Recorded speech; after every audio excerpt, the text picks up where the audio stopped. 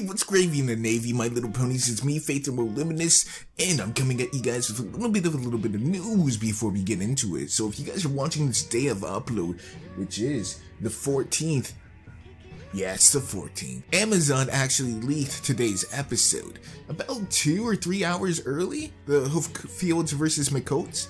Yeah, so Amazon, good on you, mate. I'm sure Hasbro's fucking fuming over there because they've had more leaks this season than they have every other season combined in such a short span of time. But anyways, it's not about the whole Amazon leaking for to the masses and stuff like that. Turns out that next episode is the Mane Attraction episode. Yeah, you remember those whole previews that we had of the animatics with Lena Hall and stuff? That one's coming out today or next week.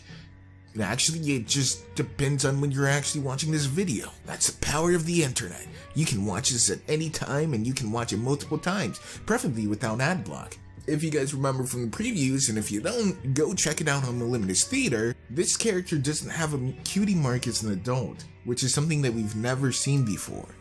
Well, outside of fanfiction and crude pictures on DeviantArt, and it also features the voice talent of an actual pop scene. But let's get to the actual synopsis. The actual synopsis goes as follows. Applejack finds out that an old friend has become a huge pop star, but she feels as though her manager isn't, but she feels as though her manager doesn't have her best intentions in mind which wouldn't surprise me. Just look at NWA straight out of Compton, y'all better make way. Or Drizzy Drippin' Drake. Any kind of these superstars that get just massive amounts of money. They go from zero to a hundred real quick. No one knows how to handle that kind of money when they just got out of like eating takeout every night because they couldn't afford normal groceries.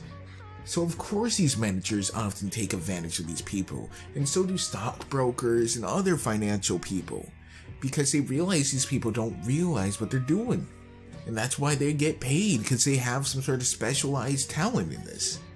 It's sad, but it's true. I am interested to see how it plays out, and let me know what you guys think down below. If you guys haven't seen that little trailer, the animatics, go on Moliminous Theater, check them out, and then come back and tell me what you think. Be sure as always like the video to share it out with others, and if you enjoy the content. Don't forget to subscribe if you're not already to join the herd today. I've been Faith and Luminous. Peace. The limb out.